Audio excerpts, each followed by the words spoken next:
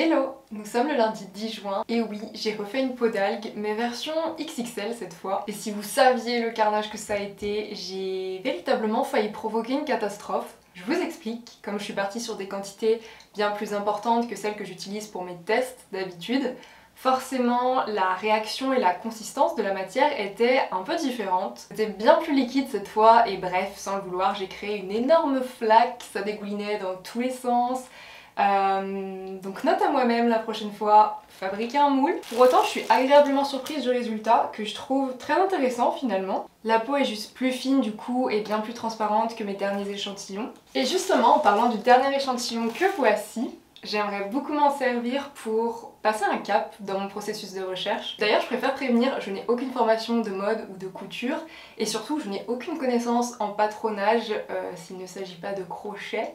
Comme à mon habitude, j'y vais en mode freestyle, donc toutes mes excuses par avance à tous les fins connaisseurs et fines connaisseuses parce que je risque de ne pas faire ça dans les règles de l'art, en effet. Néanmoins, l'idée ici, c'est d'exploiter la matière plutôt que le volume. Et comme c'est justement cette matière que je cherche à mettre en avant, j'ai commencé à bosser sur quelque chose d'extrêmement minimaliste. En gros, une pièce de couture et c'est tout. Voilà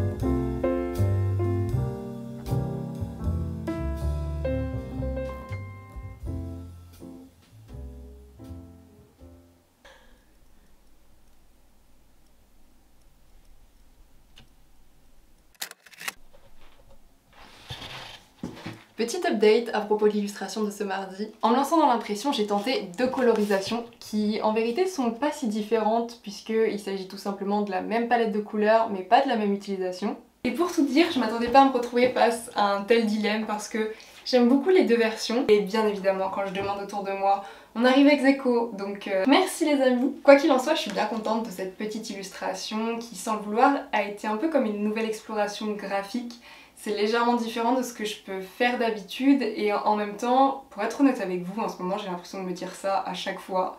Je pense que j'ai pas un style forcément marqué. Enfin, je pense que j'ai un univers graphique, mais qu'il y a plein d'extensions autour, et je suis vraiment ok avec ça. D'ailleurs, c'est cool d'en parler parce que je sais que c'est un énorme sujet, que celui du style graphique, notamment pour les illustratrices, les illustrateurs, et j'ai un peu la sensation que c'est à la fois une sorte de quête avec, vous savez, ce truc de avoir une identité personnelle, reconnaissable, et en même temps une forme de piège avec des questionnements du genre est-ce que ça me ressemble?